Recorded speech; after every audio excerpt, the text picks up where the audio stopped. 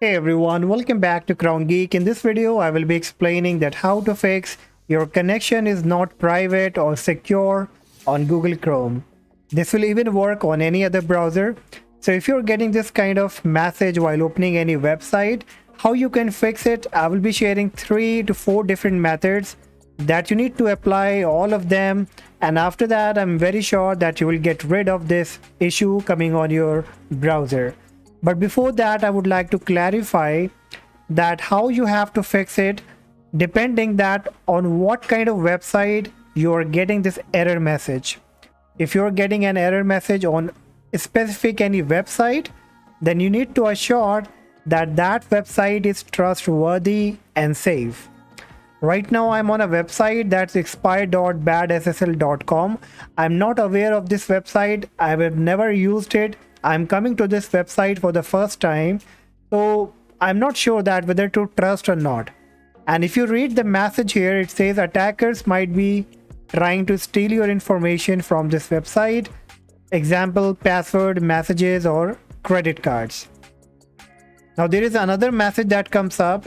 It says the connection to this is not secure. You are seeing this warning because the site does not support HTTPS. So these kind of similar messages you can get. All right. So if you do not identify a website, kindly ignore it. But if you are getting this message on multiple website, almost on all the website, then probably this can be some kind of browser issues or some kind of certification issues from your PC. All right. So because many people reported that they have the issues on a trusted website like PayPal, Quora.com, Reddit.com. So in that case, apply the solution that I'm going to share in this video. Now make sure that after seeing the method one or two, do not skip because I will be sharing four methods that you need to apply all of them. And after that, you will be getting the solution. Number one, try clearing the cache and the cookies. Now, once you are on the website, on the very top, you will find this lock icon here once you click on it where it says not secure and you can see a triangle icon here. So you can click on it. Then it says cookies. Right now i have zero cookies but you will find some cookies here in the box. You have to click on remove. And keep clicking on remove until you see the empty box. Once you are done click on done. Then try to reload the website and check that if this fix the problem. And if not then you have to clear the browsing data, cache and everything from your browser. So on your Google Chrome, on the very right in top, you will see the three dot, click on it. Then hover up to settings, click on settings. From the left in menu option, click on privacy and security. Then here you will find clear browsing data. Click on it. Now it should come with a basic one, so you have to choose advanced Time range, you have to choose all time. Check the box of browsing data, download history, cookies, cache. You can uncheck password and autofill form data or else you will lose your saved password and IDs. Rest, you can check all the boxes. Once you are done, click on clear data and it will take some time depending that how much uh, temporary and the browsing data you have on your browser. So have patience and once it's been completed, you can close your browser and now you have to press the Windows and letter R key all together.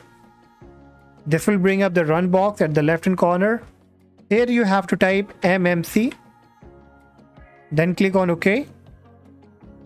You will see such kind of box coming up. On the very left and top of it, you will find File. Click on File. Then click on Add Remove Snap-in. Then here from the left hand menu, you have to look for certificates. Click and highlight it. Then click on add. Then choose computer account. Then click on next and then hit on finish. Now the certificate will be added here. Now click on OK. Now you will see the certificates here. So double click on it. Now here you have to look for trusted root certification authorities. Double click on it. Then again, you will find certificates. Double click on it. And here you have to look for DST root CA X3. So you can keep scrolling down until you find here DST root CA X3. So probably this certification file is creating some kind of issues. So what you have to do, you just need to delete it, make a right click on it and choose delete. Then click on yes. Now once deleted, we have to import a fresh copy of this DST file. So what you can do, I will be sharing a link in the description of Google Drive. You have to come to that link, then click on download. Then click on download anyway. Once downloaded, again go back to that location. Right click on certificates, hover up to all tasks, then choose import. Then hit on next. Now click on the browse and download the file that you just downloaded from Google Drive. Choose the location, then click on open. Then hit on next. Hit on next, then click on finish. So now this DS3 file will be added to your console and after that you can close it. Then click on yes to save the changes.